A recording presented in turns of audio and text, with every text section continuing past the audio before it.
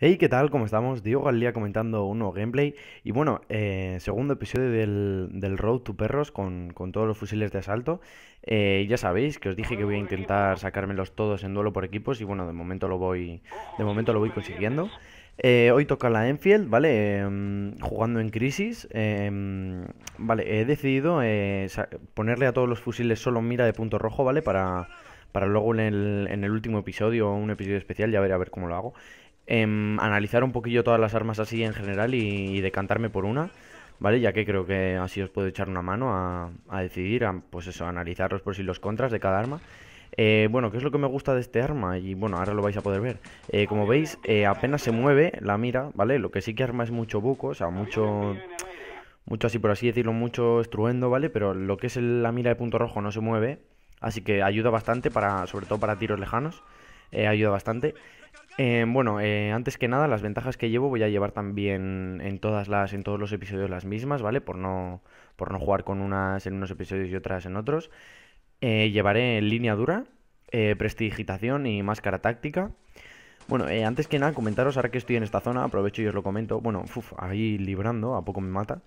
Eh, siempre que estéis en esa zona es un respawn bastante, bastante fácil. eh, la verdad, si tenéis UAV lo podéis controlar y dominar bastante bien. eh, ya veis que yo me estoy moviendo constantemente por esa zona fijándome en el, en el minimapa donde, donde aparecen los enemigos.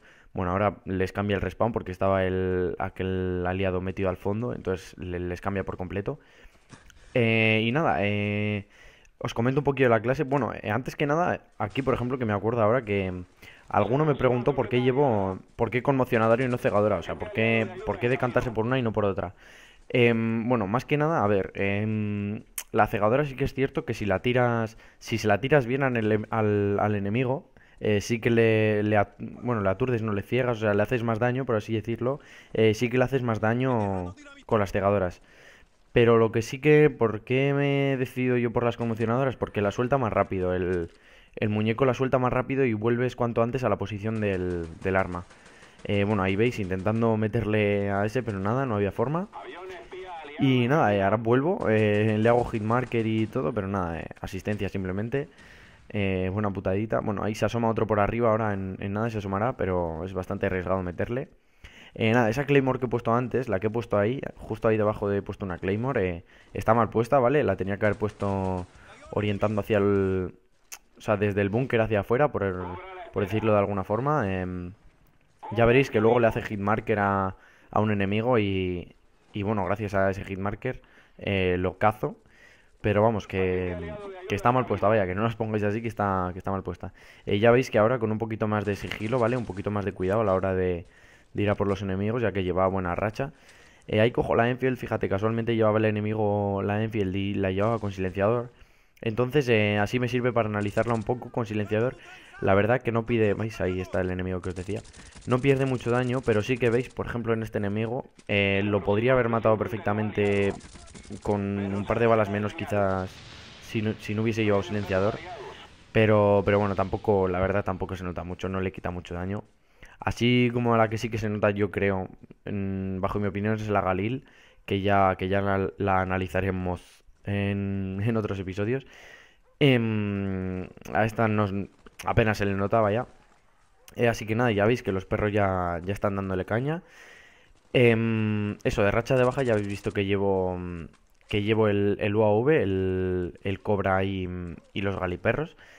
Em, eso, eh, moviéndome por todo el mapa, ya sabéis que siempre os lo digo en, en todos los vídeos, y mucha gente me pregunta, oye, ¿cómo me saco la MOAB en Modern Warfare 3? O ¿cómo me saco buena racha en, Black Ops? O... Bueno, antes que nada, mirar el fail que hago ahora. A este hombre lo tenía yo ya fichado. O sea, ya sabía que estaba por aquí, pero digo, coño, pues ahora desconectado. Pues nada, estaba ahí haciendo el camuflaje de la serpiente ahí en la roca y nada, y me lo comí.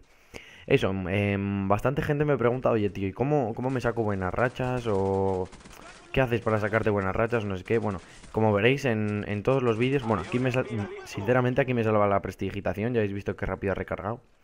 Bueno, pues eso, que yo siempre os digo el mismo consejo, no, no os quedéis quietos, o sea, yo creo que la única forma de matar es moviéndose y moviéndose. Pumba, que fail, el fail de la partida diría yo. Eso, eh, siempre moviéndose alrededor del mapa. Tampoco hace falta dominar muy bien, muy bien los puntos de reaparición, ¿vale? Con que os mováis, con que sepáis moveros así ágilmente por el mapa, yo creo que, que podréis dominar a los enemigos. Eh, y más siendo un duelo por equipos, si es, si es un, un modo de juego por objetivos, ¿vale? Véase dominio, véase demolición o, o buscar y destruir, pues sí que, sí que es bueno eh, dominar un poco las zonas, ¿vale? Pues por ejemplo, los puntos de reaparición si solo tiene una bandera o los puntos de reaparición si solo queda una bomba pues ahí sí que es bueno eh, dominar bien las zonas. Pero en duelo por equipos que el respawn del enemigo es totalmente aleatorio, ¿vale? Va variando bastantes veces, es bueno que sepáis moveros por el mapa. Y ya os digo, si os quedáis quietos en una zona es que mm, daros por perdidos, o sea, no... eh, no es normal que yo, y tampoco lo considero una persona rencorosa, o sea, simplemente yo si estoy viendo que una persona me está dando, me está dando varias veces eh, por la misma zona, pues coño, al pasar por ahí ya es que es instintivo hasta tener, tener un poco de cuidado, ¿no? Por, por decir, coño, si antes me ha dado aquí un enemigo, pues lo busco y yo qué sé, le cego le, o voy a por él, vaya. Que tampoco es ir a por él, o sea, sino que mm, simplemente, no sé, te das cuenta que estaba por ahí y tienes más cuidado al pasar y es más fácil que te maten. Eh, así que nada, buf, aquí desde el puente, dándole. El Napal, mm, no sé, no me parece buena racha para ponérsela. Hay gente que lo sabe tirar muy, muy, muy bien. Eh, la verdad que yo he visto a gente que lo tira bastante bien en la Palm. eh, sobre todo si tienes un UAV. Eh, lo de los UAV es otra cosa que os iba a comentar. ayuda bastante, bastante tener casi un UAV constante en la partida. La verdad que es vital para poder ganar una partida. Y nada, aquí se termina el, episodio de hoy. vais a ver el resultado final, creo que era un 24-2, si no me equivoco. Bueno, la baja final de Ale Kraken es un, un coleguilla del clan. Ahí veis que estaba, estaba jugando con la PSP ahí en tumbao. Estaba tumbarreado ahí con la PSP. Y nada, eh, si os ha gustado darle like y favoritos, que ayuda bastante, compartirlo con vuestros amigos y nada, nos vemos en el siguiente episodio. Adiós.